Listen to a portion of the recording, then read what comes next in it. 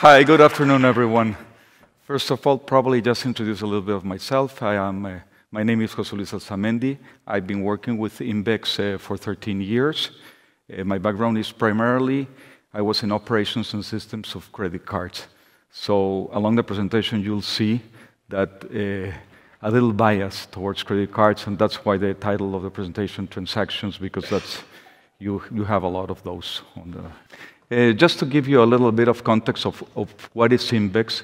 Invex is a Mexican bank. It's actually one of the few Mexican banks because most of the banks in Mexico are foreign, uh, namely Santander, BBVA, Citibank, HSBC, and then a couple of Mexican banks after that. Uh, Invex is one of the few. One started in 1991, basically as a stock brokerage. When the big oil crisis back, back then, all the banks were reprivatized and, and so forth. So the banks were consolidating. Invex took like the opposite side of asking for a banking license. The story is uh, pretty successful.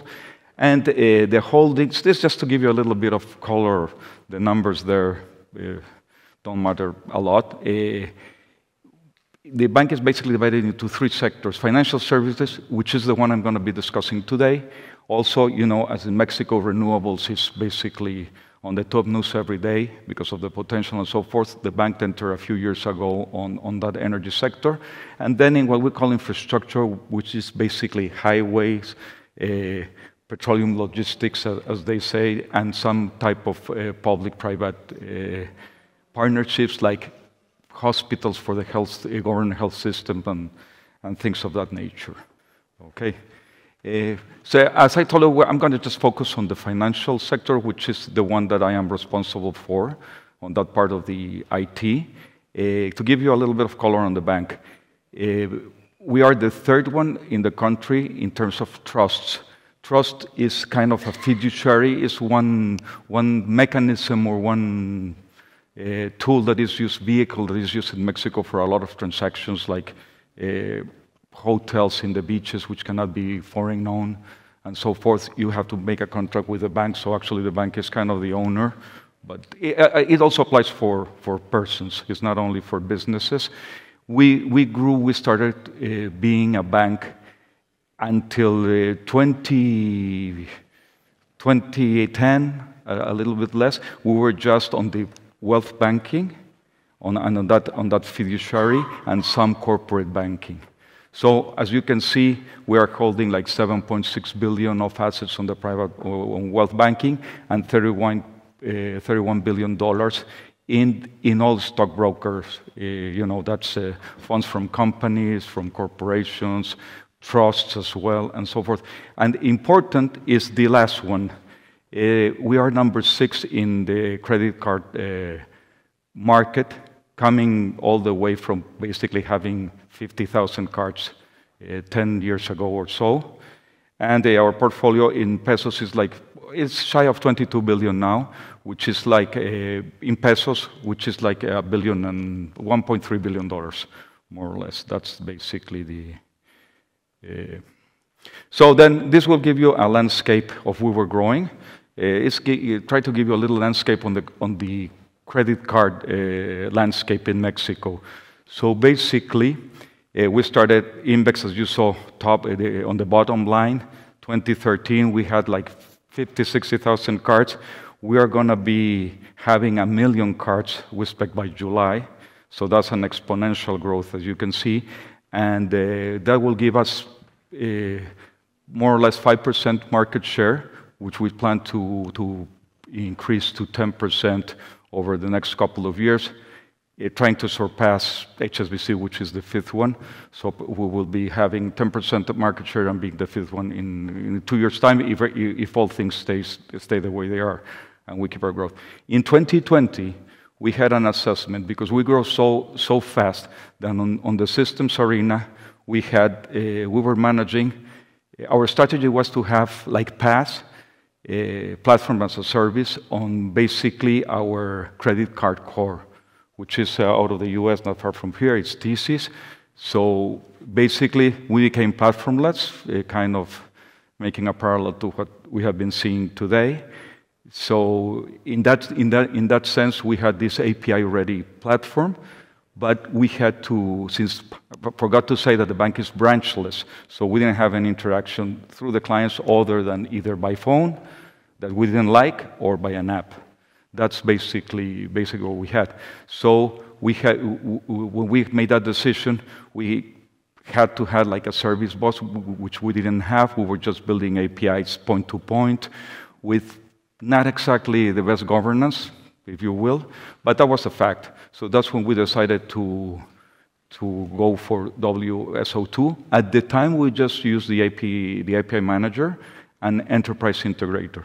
That was our first, and it was only for the credit card piece of the bank. Then, uh, two years after, systems consolidated, and we are expanding the use of WSO2 for the other part of the bank, for the private banking and for the, for the trusts. So uh, basically, another thing that is interesting that I was talking, as you know, in Mexico, there's no open banking yet. However, there's a little bit of unfair competition of some of the fintechs that had started, uh, you know, launching products. We have like Nubank from Brazil entering. So in our in our response to that one, we launched uh, last year like a neo bank, but that is supported by the bank, which is uh, very interested in Mexico because banks, we have like a, the equivalent of the FDIC. So we have give a lot more trust to the clients than the fintechs that you put your money. And in countries like Mexico, where law enforcement is not uh, quite where it should be, uh, well, people hate banks, but they only put money in banks. So I think that's a, that's a competitive advantage. And the, this is relevant uh, because it's, it's total digital digital transformation, and we started with WSO2. Unlike, unlike the other systems that we started with other journeys, and then we have to move and migrate, this one uh, was started all with W2 using the identity manager. We, we moved to uh, microintegrator, other things that I'm going to cover, cover that. But basically, this is a, a bank in a, in a wallet. You can make deposits, you can have your credit card, basically, basically everything. It's uh, targeted to younger people than, than the, the normal bank. And uh, basically, we had like 100,000 clients without doing any advertising, like in a period of six months. This year, we, we want to ramp this up. And so, so basically, uh, uh going on what the challenges of the market are and how did we use uh, w, WSO2 to tackle them. First, I, am going to start with identity, identity server. I think that this is one of the most important tools that we have used from, uh, from WSO2. One, you know, the challenges is like, uh, you know, legacy systems with proprietary. Uh, we had to use like HSMs. We had to, in Mexico, also the as I told you, law enforcement and a lot of social engineering, a lot of account takeover. So we need to, to have a, a more robust system than, than, than, the legacy ones that we had. No? So basically, with the benefits of WSO2, we have, well, we consolidate identity on, on all bank systems.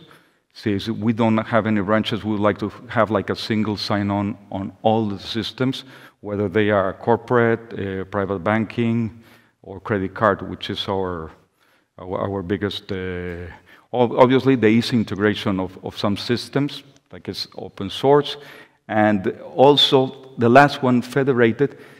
Uh, Mexican regulation has come short of open banking. There has been a lot of reluctance and opposition from big, big banks to, to play in that scape, and also the regulator has some fear of account takeover on some, I would say, the most vulnerable sectors of, of society in Mexico. They are vulnerable to getting, you know, their credentials stolen and so forth. So the regulation has come short of an open banking. What they have started, they are going to publish very, uh, very soon, is uh, something of a digital agent. So someone can have an app, let's say like uh, you have like an Uber app, but that Uber can send an API to a bank to open an account, but it's actually the bank that opens the account. It's not that you federate. Actually, you turn over basically the session to the bank. So that's what the government is at least. It will probably evolve, as always, to open banking in the future and so on. So I think that we are kind of prepared by using the, the identity server in, the, in that sense. Uh, next one, as I told you, since this is a micro integration, we started with Enterprise Integrator, and since we were using PaaS, which is basically for credit cards, a bunch of transactions, and, and our uh, strategy is to have a specialized core, we don't have the need to integrate that much. So most of the rules are within the core systems. So we use like only like, I would say like a light layer of integration. So uh, Micro Integrator has come has come very handy. And also in the in the in that journey, we had a lot of we call it in the Spanish manomatic processes, which are half automatic, half manual. So, and, and, I think that that happens all the world, not only in Mexico. And so they, they say that there's nothing more permanent than a temporary solution. So it stays there like forever.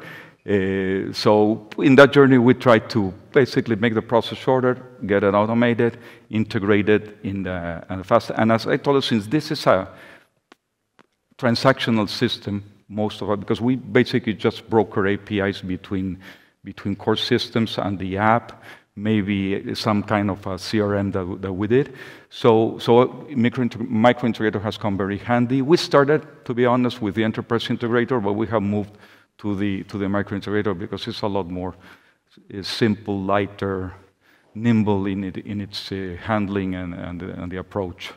And as, as you can see, I'm probably not going to go into into, into all these details, but basically it gave us, you know, the agility to integrate uh, faster and lighter, and uh, in case we need to do kind of a, quick change or so, it, it, gave, it gave us that, that, that ability. And uh, then we have the API manager. Uh, as, as I was telling you, we basically were banking on APIs direct from one system to the other. It grew so rapid that we lacked some of the things that we're saying, no, lack of documentation, lack of governance, very important security. We, we did not, uh, uh, you know, cover security in the way we should have covered or, or, or we should have taken care at the beginning. So uh, the, the API manager gave us a, a bunch of things. No?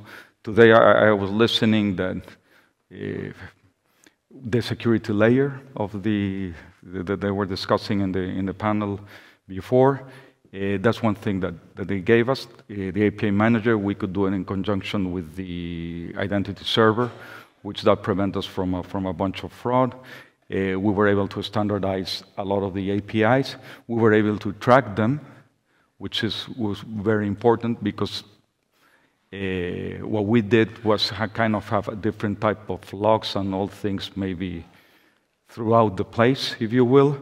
And, and this gave us the order. I, I think it gave us basically the governance on an API, the security features that we needed, uh, the ability to register, audit, log, uh, compatibility compatibility with they were compatible with SOAP and REST and uh, the like, and uh, and we we also were able to do some kind of analytics like with the ELK and so forth. So so basically that's. That, that has been our journey on, on WS2 using these, uh, these three tools.